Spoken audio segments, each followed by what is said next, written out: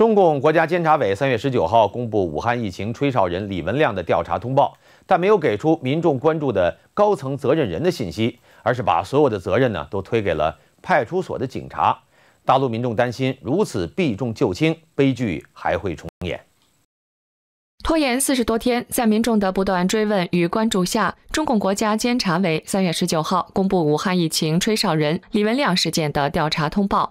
通报中称，武汉中南派出所对李文亮出具训诫书不当，建议武汉市监察机关对此事进行监督纠正，敦促公安机关撤销训诫书，并追究有关人员责任。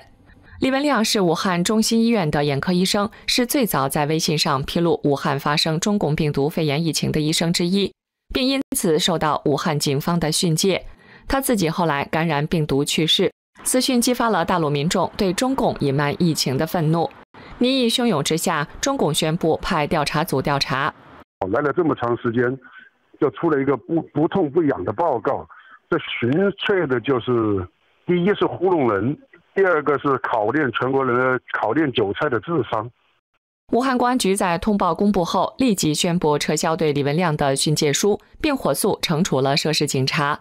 负责约谈训诫李文亮的中南路派出所一名副所长被记过。执行训诫的基层警察被警告。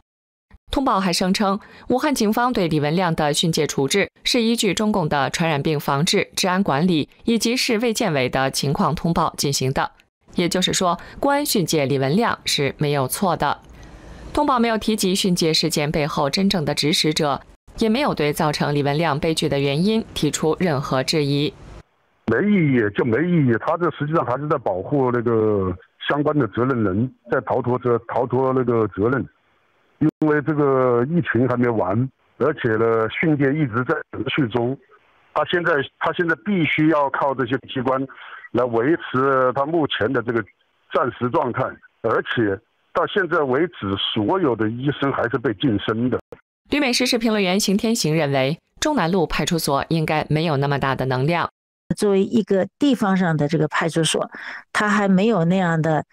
胆气和资历呢，去敢去这样去触碰，他一定会向上面报告的。而且就是像李文亮他们是在呃这个微博的群里边转发这个消息，那中间就有一个环节，是谁在监视这个微博，然后把这个内容告诉了呃这个公安机关。有民众质疑调查报告避重就轻，他们在网上留言说：“一个基层派出所是怎样将训诫令安排到央视新闻播出，并转发全国各省级的电视台呢？”还有民众指出，应该调查个人微信为什么会被警方获取，训诫是由哪个级别由谁决定的？这些人都应该被追究法律责任，否则调查又是一次为罪犯开脱而已。那么，公安机关又是谁来指使下边的办案人员来做出这样的决定？那这些东西呢都没有，但是我们知道它背后一定有。邢天行指出，中共现在要所谓疫情维稳，公安更加肆无忌惮的作恶。中共现在这个所谓的这个政绩，就是这个疫情的政绩，试图通过这个疫情重新打造他这个世界救世主的这样一个地位。那他的这个目的和他原来奉行的这种言论封杀的这个都是连在一起的，所以他不可能真正的对下边的这些明目张胆的这种违法行为呢去进行有效的制裁。对于像李文亮等八名医生透露信息的医生、发烧人艾芬和其他七名被训诫的医生，通报也没有提及他们的现况。据报道，武汉中心医院党委书记蔡丽、院长彭义香以及纪委书记李密等人曾制止医护人员对疫情提出警告，并迫使他们不戴口罩，暴露在病毒威胁之下，致使该院有三百多医护人员感染，四人死亡，四人靠仪器维持生命。死亡的医师包括李文亮，但是这些官员至今都没有被纠责。